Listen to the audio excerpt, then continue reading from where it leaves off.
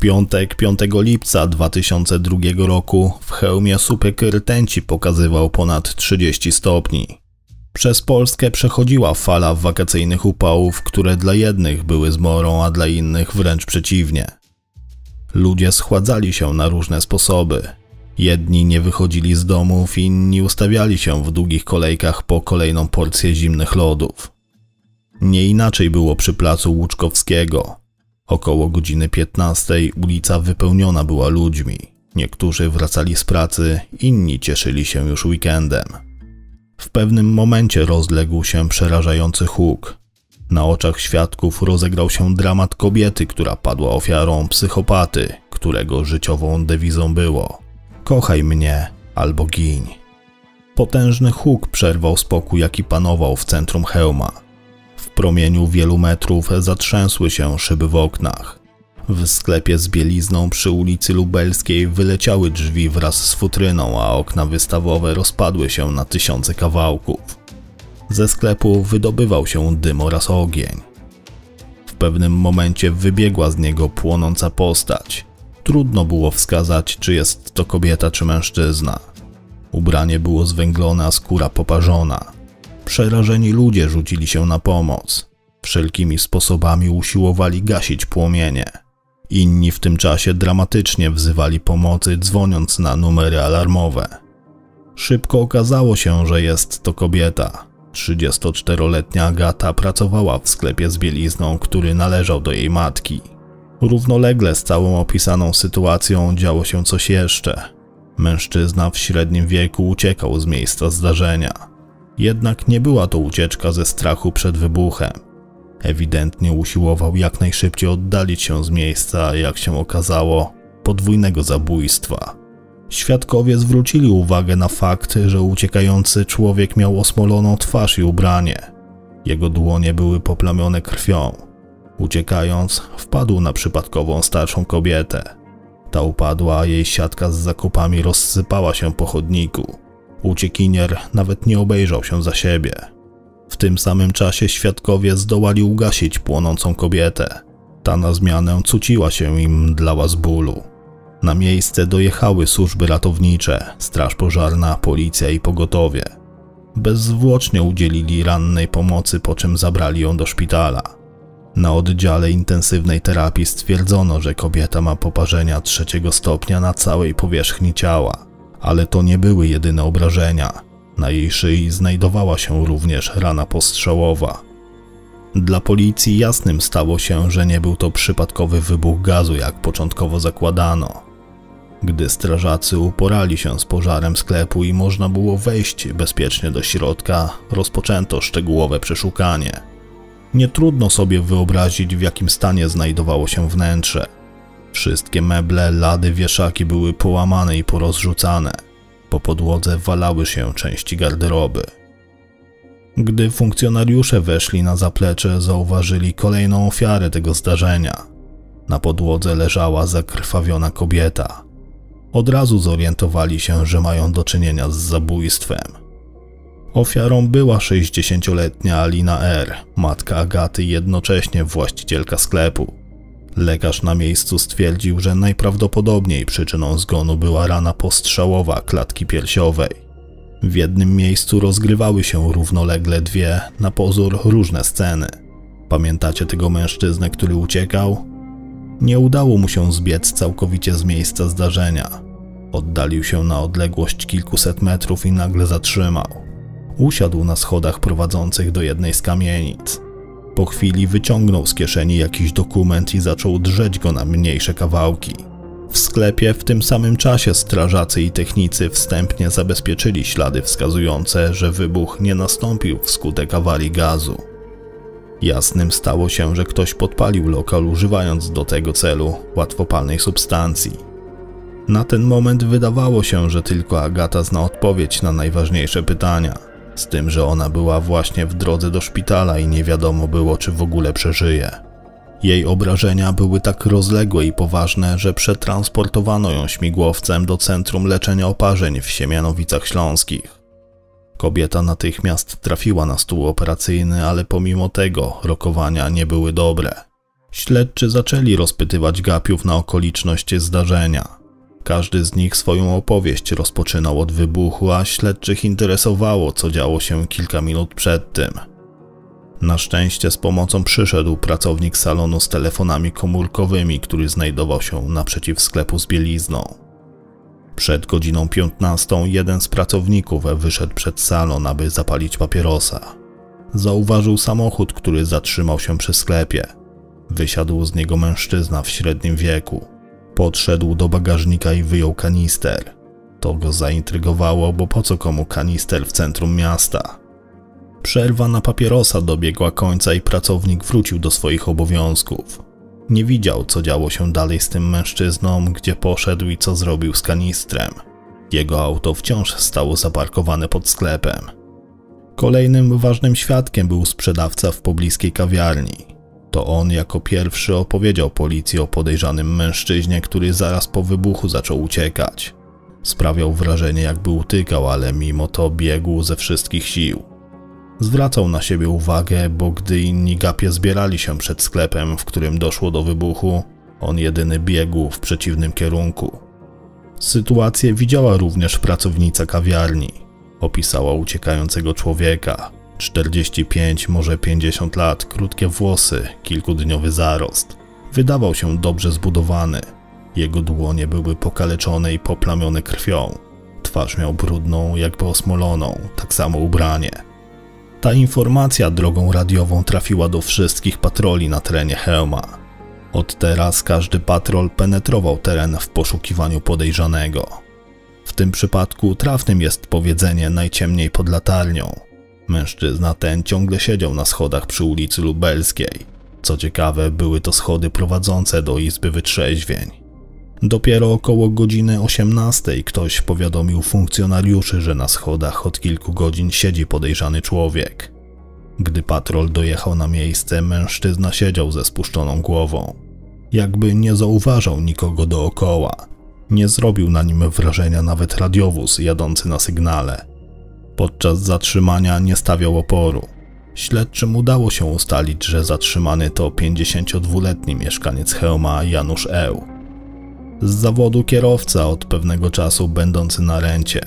Kilka lat wcześniej rozwiódł się z byłą żoną i miał dwójkę dzieci z tego małżeństwa. Mężczyzna nie odpowiadał na żadne pytania. Zachowywał się biernie, jakby był nieobecny.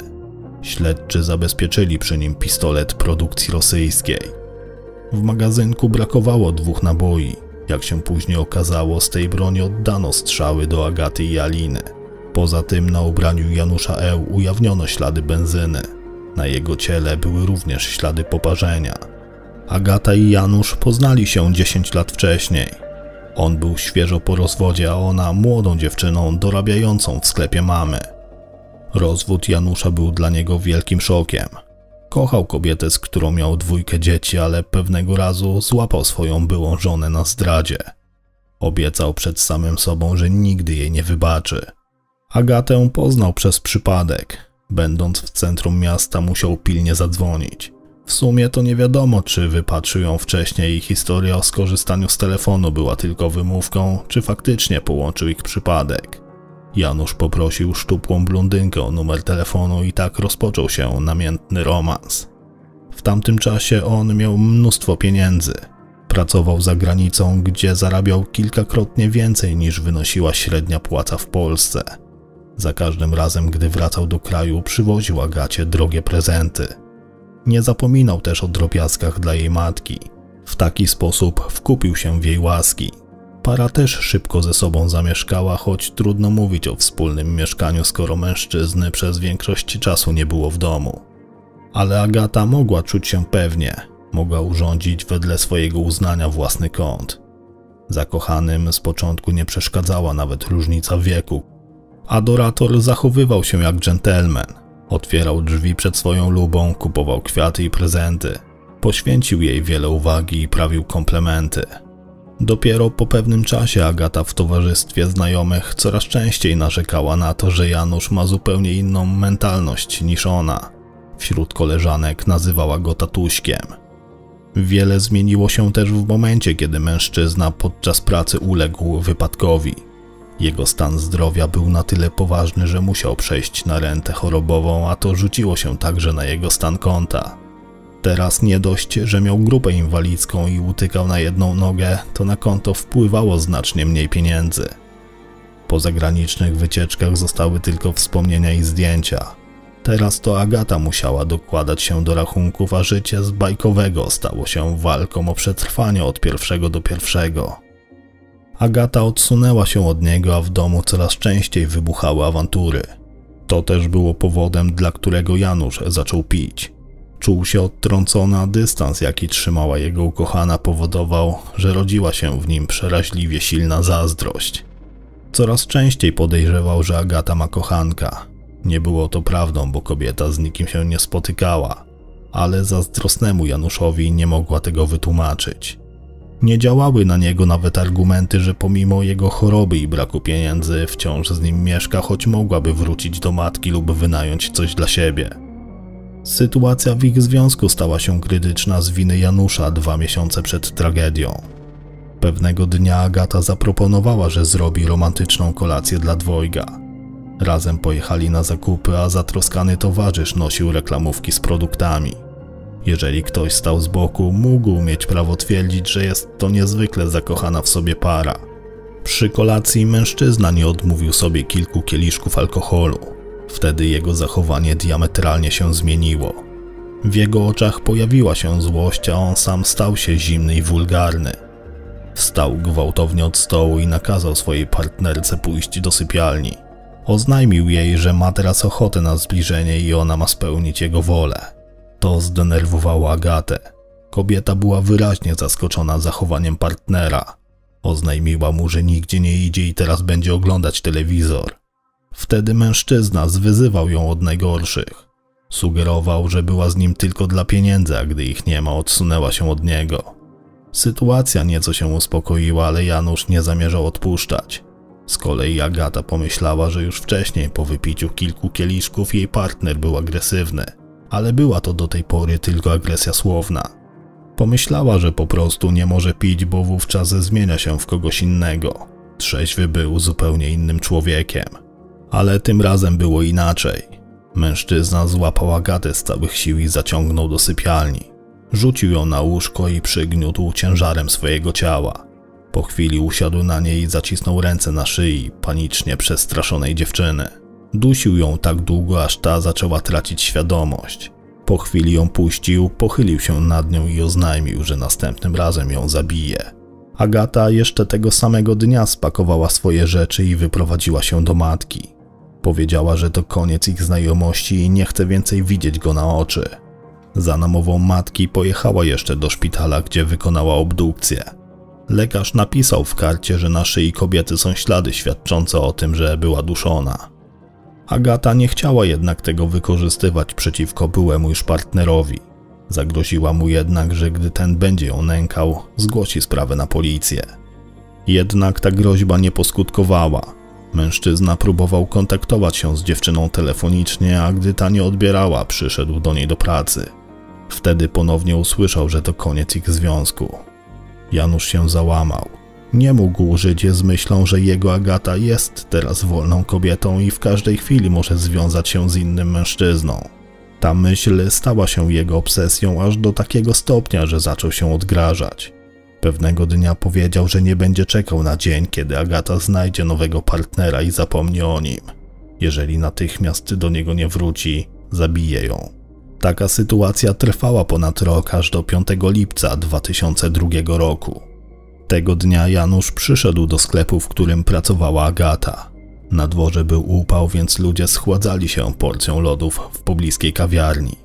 W sklepie nie było nikogo, nikogo poza Agatą i jej matką, która tego dnia przyszła tylko na chwilę. Janusz kilka dni wcześniej kupił pistolet na miejskim bazarku. Zaplanował ze szczegółami to, co zamierzał zrobić. Zabrał ze sobą kanister z benzyną i udał się do sklepu swojej byłej dziewczyny. Najpierw zaczął ją prosić o kolejną szansę. Obiecywał, że się zmieni, jeżeli Agata zgodzi się wrócić. Ta jednak nie chciała tego wysłuchiwać i kazała mu odejść. Wtedy on wyjął stary, radziecki pistolet i oddał w kierunku kobiet po jednym strzale. Myśląc, że obie nie żyją, rozlał benzynę, podpalił ją i uciekł. Przy tym sam został ranny od buchających płomieni i ognia, który zajął jego dłonie pobrudzoną łatwopalną substancją. Matka Agaty zginęła na miejscu. Ona z kolei została ciężko ranna w szyję. Ocknęła się, gdy ogień zajął już niemalże cały sklep. Ona również była ogarnięta ogniem. Wybiegła przed sklep, ale nie była w stanie wykrztusić z siebie żadnego dźwięku. Ugasili ją przypadkowi świadkowie. Agata zmarła kilkadziesiąt godzin później w klinice w Siemianowicach Śląskich. Tak jak wspomniałem wcześniej, Janusz został zatrzymany. W sądzie mężczyzna utrzymywał, że nie wie co się stało, niczego nie pamięta i na pewno nie chciał zabić. Pamiętam jak klęczałem przed Agatą, strzeliłem, ale niestety nie mogłem sobie przypomnieć do kogo wycelowałem. Na pewno chciałem zabić siebie, ale co się stało potem nie pamiętam. Przed sądem starał się przedstawić swoją byłą partnerkę w złym świetle. Twierdził, że był przez nią zmanipulowany, a ona sama była bezwzględna i wyrafinowana. Jednak jego słowa nijak miały się do zeznań świadków oraz zabezpieczonych dowodów. Przez rok czasu nachodził byłą kochankę, nękał ją telefonami, wiadomościami oraz listami. Wielokrotnie groził jej pozbawieniem życia przy świadkach. Wina podejrzanego nie budziła żadnych wątpliwości. Podczas rozprawy głos zabrała również psychiatra, która badała Janusza. Jej opinia była następująca. Zachowanie człowieka w postaci nachodzenia, awanturowania się i gruźb karalnych sugerują nam, że mamy do czynienia z osobą funkcjonującą patologicznie. W przypadku tego tragicznego zdarzenia spowodowanego chorą zazdrością i nieszczęśliwym rozstaniem mamy do czynienia z pewnymi zaburzeniami. Z opisanego przypadku wynika, że mógł on mieć zaburzenia osobowości psychotyczne lub organiczne. Świadczy to o tym, że zraniony kochanek mógł mieć psychozę na skutek np. choroby alkoholowej. Jednak tego nie da się dokładnie określić bez znajomości całej historii życia emocjonalnego mężczyzny. Janusz został skazany na karę dożywotniego pozbawienia wolności. Niestety to kolejna smutna historia z polskich akt. Chorobliwa zazdrość doprowadziła do tragedii. Czy Agata nie dostrzegała wcześniej niepokojących sygnałów? Czy groźby traktowała z przymrużeniem oka? Niestety, na podstawie statystyk, zdecydowana większość osób będących w takiej sytuacji nie reaguje na zagrożenie. Przeważnie, choć to brzmi kuriozalnie, dlatego że nie chcą sprowadzić na byłych partnerów kłopotów ze strony policji i sądów. Ale takich sygnałów nie wolno bagatelizować, bo może dojść do tragedii, tak jak w tym i wielu innych przypadkach. Nie chcę nawet myśleć, co by było, gdyby tego dnia w sklepie były przypadkowe osoby robiące zakupy. Dziękuję Wam za kolejny odcinek. Na kolejny zapraszam w najbliższą niedzielę, a teraz życzę Wam bezpiecznego weekendu i do usłyszenia. Trzymajcie się, cześć.